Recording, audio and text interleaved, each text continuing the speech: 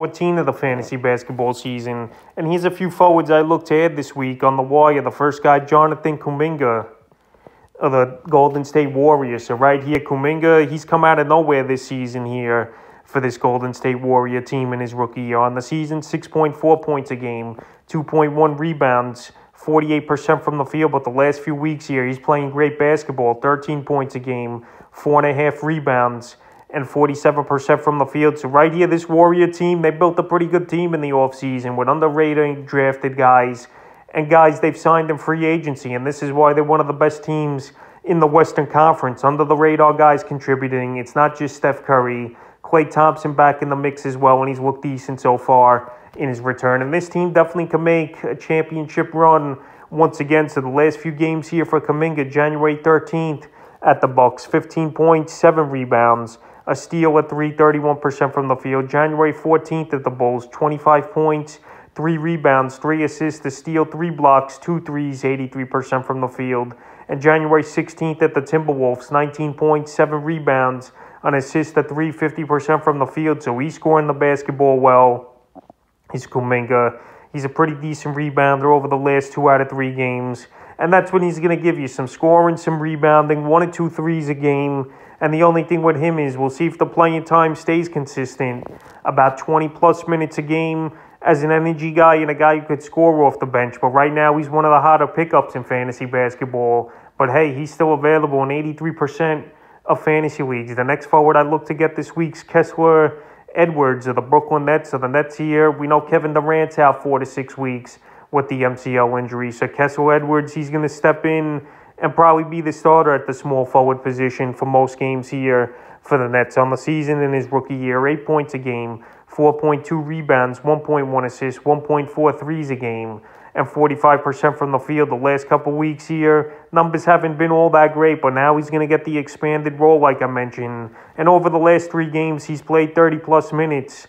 Is Edwards. January 12th at the Bulls, nine points, a rebound, an assist, three steals, a block at 350% from the field. January 13th versus the Thunder, nine points, two boards, a block, 40% from the field. And then January 15th, where he really played expanded minutes, 37 minutes in that ball game, 16 points, six boards, two assists, a block, four threes, and 60% from the field. So right here with the injury, like I mentioned to Durant, I think it's going to be a group effort from this net team. We're going to see more scoring from Cam Thomas who I mentioned as an ad at the guard position in my other video, and even Aldridge, who should be back now any day now as well here, getting the load with Edwards as well. So right here, he's in the lineup. He's playing decent basketball, and right now available in 95% of fantasy leagues. I definitely would give him an ad this week, with obviously Durant out multiple weeks. The next forward I look to add is Amir Coffey of the Los Angeles Clippers. So this season, we've seen a lot of guys emerge who are either rookies or second year guys especially for fantasy basketball. So on the season here for Coffey 6.6 points a game, 2.9 rebounds, 1.5 assists, 1.1 threes, and 44% from the field. But the last couple weeks here, he stepped his game up, Coffey, with more minutes 12.6 points a game, 4.6 rebounds, 3.1 assists, 2.1 threes, and 50% from the field here. So we know Paul George is out with the elbow injury.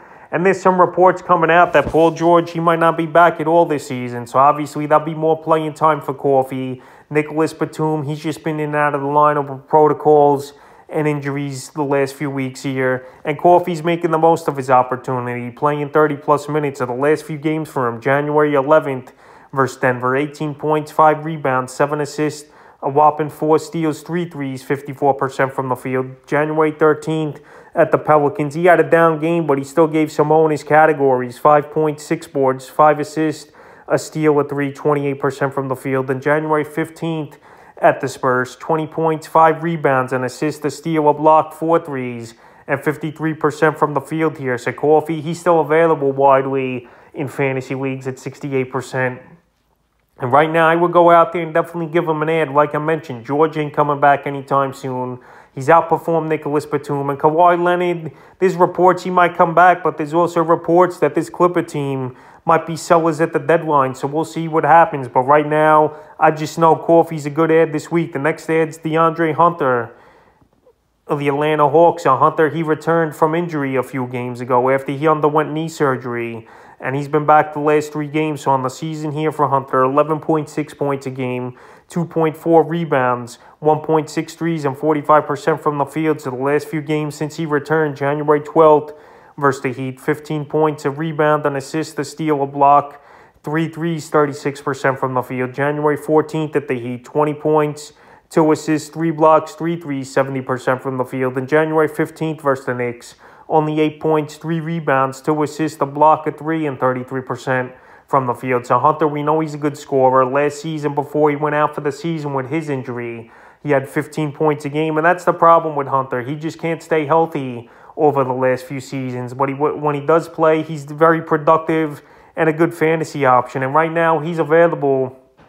Is Hunter in 46% of leagues, and with Cam Reddish out of town getting traded to the Knicks, that just opened up the minutes for him. And so far, he's playing 25, 30 minutes a game since he returned. So right now, he's definitely a good ad, in my opinion, is Hunter. He's going to give you the scoring. He's going to shoot some threes. And he's been a decent assist guy as well. So I would give him an ad this week in the fifth and final forward. I looked at this week. Darius Bazley of the OKC Thunder. So Bazley, it's been an up and down season for the youngster this year. But now he's starting to get things going, I think, and be a decent fantasy option on the season 9.3 points a game, 6.3 boards, 1.2 assists, a 3 and 40% from the field. So I know last season he averaged 13 and 7, and the numbers are definitely down this season here for Bazley, but I think he could pick it up and get it going. And over the last few weeks, that's what he's been doing 11.7 points a game, 5.7 rebounds, and assists, 50% from the field, and a block as well. So right here, he's available in 80% of leagues, but he's starting to play more playing time and being more productive Bazley. January 11th at the Wizards, 14 points, 9 boards, and assist, a block, 2 3 71% from the field.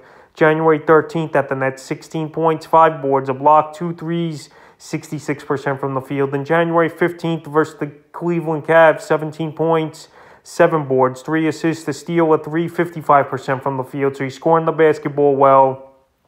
He's rebounding decently as well. And right now, I would go out there and give him an ad because he's putting up numbers and he's giving on his categories. And his field goal is definitely bumped up as well over the last three games here, is Bazley. So I would give him a shot this week. So that's a few forwards I look to add here for week 14 of the fantasy basketball season.